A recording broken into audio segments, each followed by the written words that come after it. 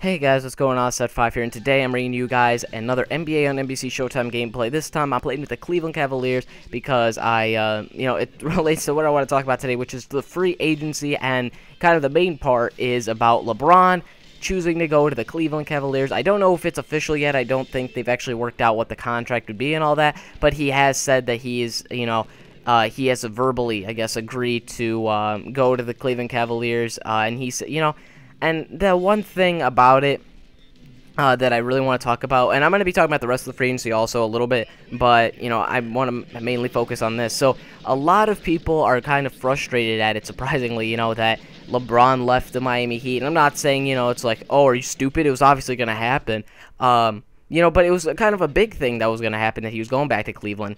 And, uh, you know, like, he did post, like, an essay. I haven't even read it yet, but it kind of got the terms of what the, the whole thing was.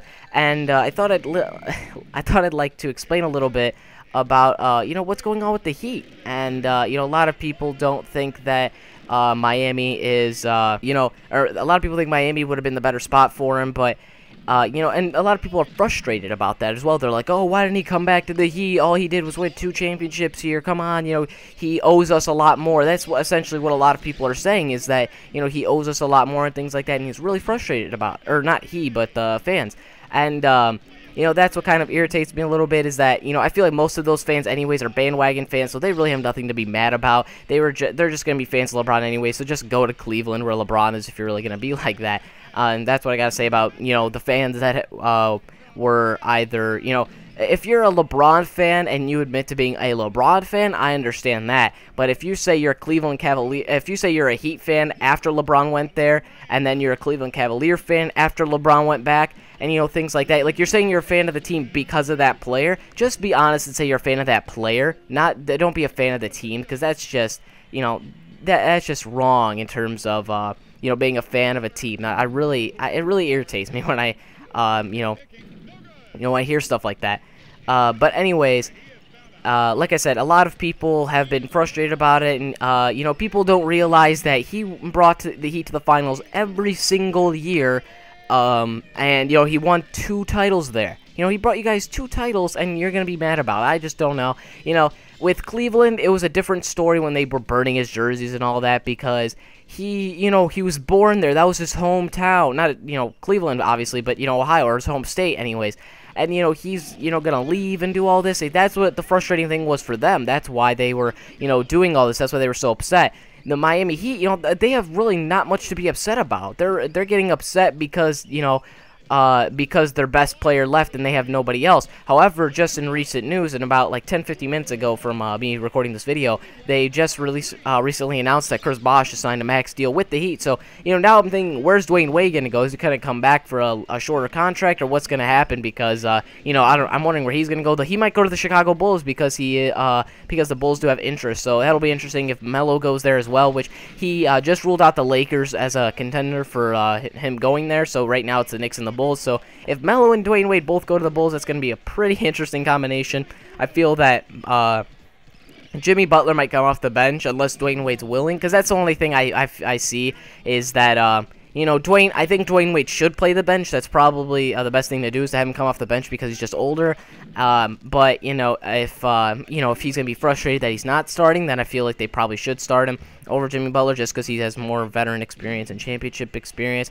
But that that's just that's the kind of big deal about it is that you know now the Heat do get Chris Bosh back, which is all right.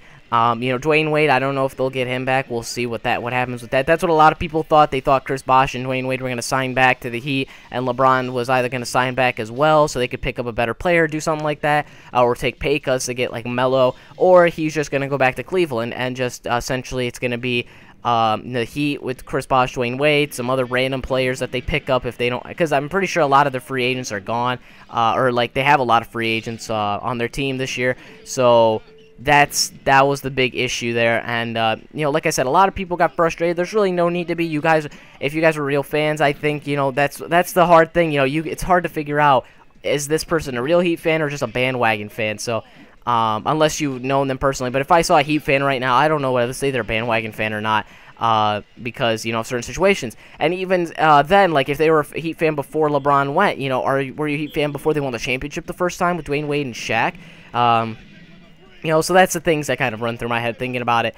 But you know, mostly I feel like that's how you can kind of differ to know whether you're a bandwagon. Uh, bandwagon fan or not is that you know you're getting mad over a, such a small thing. You know LeBron left but you're so frustrated about it that you know your best player left. He came from a uh, from uh, another team you know? And so, so he hurt them. Like you guys uh, really weren't in the same position to feel as frustrated. I understand. It's like same thing like if uh, Monta Ellis left, like he wasn't really a Maverick like Dirk was. If Dirk left, that'd be a huge, huge thing because he, you know, he's the star of that team. He's a franchise player. He's was on the team his entire career. Same thing with, uh, actually, never mind. I was about to say someone else, but anyways, that's the that's the big issue is that you know they're they're considering LeBron as if he was there for so long. Like Cleveland was a whole different story. He was there for you know so much longer. He was there for twice as long as he was on Miami, and you know that's his hometown, that's his home state, and all that. So a lot of people got frustrated about it. But it's like, hey, you know,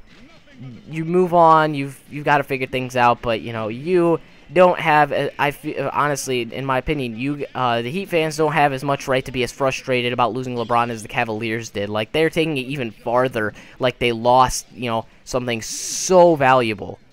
But uh, and I understand that, but they're kind of it's like it to an extent. There's uh, a point where you can be frustrated to an extent, but they kind of take it really, really far. Um, so, yeah, anyways, going to the rest of the free agency uh, really quickly through it. Like I said, you know, Bosh went to uh, the Heat, so the Rockets are not getting him, uh, but they did, I believe, they're uh, signing Chandler Parsons' uh, restricted offer sheet that the Mavericks gave him, which was a three-year, $45 million contract. So if I think if the Rockets do that, they actually won't have cap space because what they were going to do was try and take Bosh uh, with their cap space and then take Chandler Parsons through bird rights. So that's the big issue of uh, you know what's going to happen with that is is uh, you know the Rockets gonna be able to pick up any players or what? Because I feel like even with taking Chandler Parsons they're still going to be in a really bad position with salary cap for the next couple years um, with during the free agency. Like they're not going to be able to get uh, try and attack any of the good free agents unless they do sign and trades and things like that. So it depends on the situation. And uh, you know uh, it's going to be uh, alright. I can't wait to see what happens. Also, you guys know that Isaiah Thomas and uh, Luol Deng are also in the free agency, and Trevor Ariza. So there's a lot of good players that not a lot of people knew about. But yeah, they're going to the free agency, so it's going to be interesting to see where they go. My Mavs are trying to get Luol Deng and uh, Isaiah Thomas, so hopefully we can get them. That's going to be really interesting. Uh, let me know what you guys think about your teams right now, how they're doing with their free agency. What do you guys think about the whole LeBron situation? Do you guys agree with it or not? You know, I, I wonder what you guys have, um, and you know, as your thoughts about it. So just let me know down in the comments below. Anyways, guys, thank you for watching. Hope you guys enjoyed. If you did, please leave a like. And if you're new to this channel, subscribe. And also follow me on Twitter for up-to-date information on what's going on with my channel and things like that. And also, there's going to be a link on the screen right now for my previous video. You guys can go check that out. Anyways, guys, thank you for watching. I'll see you in the next video. Peace. It was just a little iffy. Uh, but these coins that I actually bought were supposed to be for uh, these new packs that came out. They were like out for